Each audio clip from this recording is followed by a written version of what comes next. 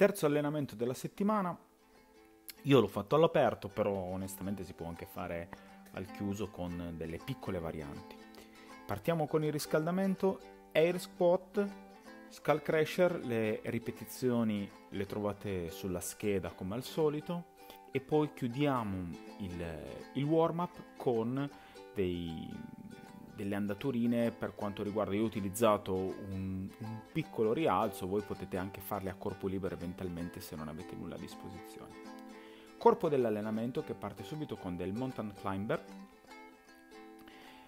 come al solito potete lavorare o con tutte e due le ginocchia fluttuanti oppure potete ehm, appoggiare la gamba che viene sotto la linea del torace.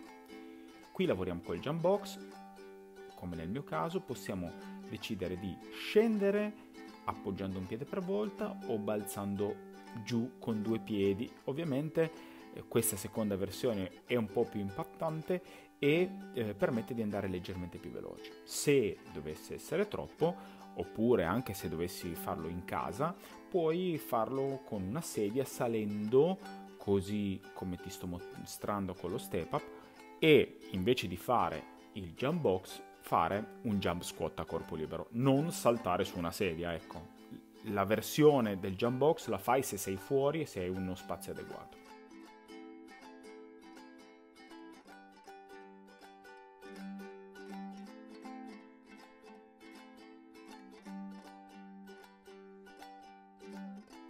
Sit up sempre eh, io ho lavorato sopra la panca perché a terra aveva piovuto e mm, ho preferito stare sopraelevato. Se il sit-up è troppo intenso passo a una condizione di crunch.